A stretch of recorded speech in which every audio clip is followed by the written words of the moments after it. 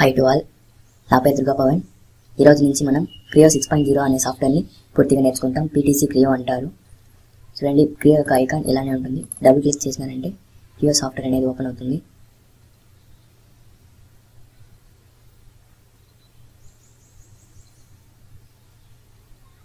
PTC Creo అంటే parametric technology corporation అంటారు.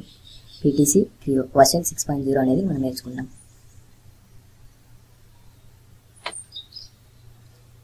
Creo open చేసిన వెంటనే హాఫ్ స్క్రీన్ మాత్రమే ఓపెన్ అవుతుంది. మ్యాక్సిమైజ్ చేసుకోండి. మ్యాక్సిమైజ్ చేసుకొని ఇది మనకు అవసరం లేదు. క్లోజ్ చేసుకుంటాం. దెన్ క్రియో యొక్క ఇంటర్ఫేస్ ఇలానే ఉంటుంది. ఫస్ట్ చూసినారంటే new open open last session select working directory erase not display model display system appearance play trail file new లోపలికి వెళ్ళినారంటే లేఅవుట్ మనం ఇందులో నేర్చుకునేది వచ్చి స్కెచ్ ఆర్ట్ అసెంబ్లీ డ్రాయింగ్ పార్ట్లోనే మనం షీట్ మెటల్ అండ్ సర్ఫేస్ కూడా నేర్చుకుంటాం. ఓకేనా దెన్ ఇది నెక్స్ట్ క్లా నెక్స్ట్ క్లాసెస్లో అట్టే కంటిన్యూ అవుతాం ఇది క్లోజ్ చేసుకుంటున్నాను. నెక్స్ట్ ఏం ఉంది ఓపెన్ అనే ఆప్షన్ ఉంటుంది ఓపెన్లోకి వెళ్ళినారంటే ప్రీవియస్గా వేసుకున్న డయాగ్రామ్స్ ఏదైనా ఉంటే దాన్ని ఓపెన్ చేసుకోవాలంటే ఓపెన్ చేసుకోవచ్చు. నెక్స్ట్ ఇక ఇదేమంటే ఓపెన్ క్లిక్ చేసినారంటే మనం ఎక్కడైతే సేవ్ చేసుకున్నామో అక్కడి నుంచి ఓపెన్ చేసుకుంటాం.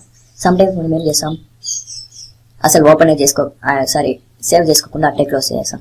సమ్ టైమ్స్ పవర్ కట్ అవుతుంది లేకపోతే బ్యాటరీలో షట్ డౌన్ అయిపోతుంది. అలాంటి టైంలో ఓపెన్ లాస్ట్ సెషన్ అనేది యాక్టివేట్ అవుతుంది. దాన్ని క్లిక్ చేసుకొని మీ ఫైల్ అనేది ఓపెన్ చేసుకోవచ్చు.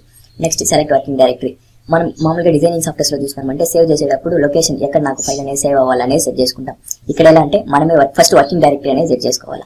అంటే నా ఫైల్ అనేది క్లియర్ నేను ఇప్పుడు డిజైన్ చేయబోయే ఫైల్ అనేది నాకు ఎక్కడ సేవ్ అవ్వాలా ఏ లొకేషన్లో సేవ్ అవ్వాలనేసి ఫస్ట్ సెలెక్ట్ వర్కింగ్ డైరెక్టరీ నుంచి సెట్ చేసుకుంటాం. నెక్స్ట్ ఎరేజ్ నాట్ డిస్ప్లే మనం స్కెచెస్ వేస్తాం మళ్ళీ క్లోజ్ చేస్తాం మళ్ళీ స్కెచెస్ వేస్తాం ఏదైనా డిజైన్ చేస్తాం మళ్ళీ సేవ్ చేయకుండా క్లోజ్ చేస్తాం. ఏమవుతుందంటే మన ర్యామ్లో స్టోర్ అవుతుంది అన్ని అవి ఎరస్ నాట్ డిస్ప్లే క్లిక్ చేసినారంటే అవన్నీ ర్యామ్ నుంచి డిలీట్ అయిపోతుంది నెక్స్ట్ ఏముంది? మోడల్ డిస్ప్లే మోడల్ డిస్ప్లే అంటే ఏం లేదు. సిస్టమ్ యొక్క అంటే క్రియో యొక్క ఆప్షన్స్ ఆప్షన్స్ అనే మెనూలోకి వెళ్దాం. దీని గురించి లేటెస్ట్ ఇంకా పోన్ పోన్ నేర్చుకుంటాం. ట్రైమెట్రిక్ ఐసోమెట్రిక్ అనే ఆప్షన్స్ అన్ని ఉంటుంది ఇదేమంటే మనము స్కెచ్ నుంచి బయటికి వచ్చినప్పుడు మనకు ఆబ్జెక్ట్ అనేది ఎలా రొటేట్ అయ్యి మనకు కనిపించాలా? అలాంటి సెట్టింగ్స్ అనేది ఇక్కడ నుంచి చేసుకుంటాం. దీన్ని మోడల్ డిస్ప్లే అంటారు. ఆప్షన్స్ గురించి అన్నిటిని ఒక్కొక్కటిగా నేర్చుకుంటాం. కమింగ్ క్లాసెస్లో. నెక్స్ట్ సిస్టమ్ అపీరియర్ సిస్టమ్ అంటే క్రియో యొక్క కలర్స్ ఎలా ఉండాలి మీకు? కలర్స్ ఏదైనా మార్చుకోవాలంటే కలర్స్ ఇక్కడ నుంచి మార్చుకోవచ్చు.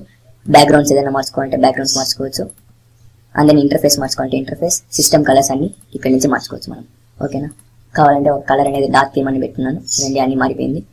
మా- మామూలుగా డిఫాల్ట్ థీమ్ పెట్టుకునేసాం. ఇంటర్ఫేస్ క్లిక్ చేస్తున్నాను. ఇంటర్ఫేస్ డార్క్ కలర్లో రెండు ఇంటర్ఫేస్ అన్ని డార్క్ కలర్ మారింది. Default పెట్టుకునేసాం. System colours black and white కావాలంటే బ్లాక్ అండ్ వైట్ పెట్టుకుంటాం. ఫర్ ఎగ్జాంపుల్ ఇది డిఫాల్ట్ కలర్స్.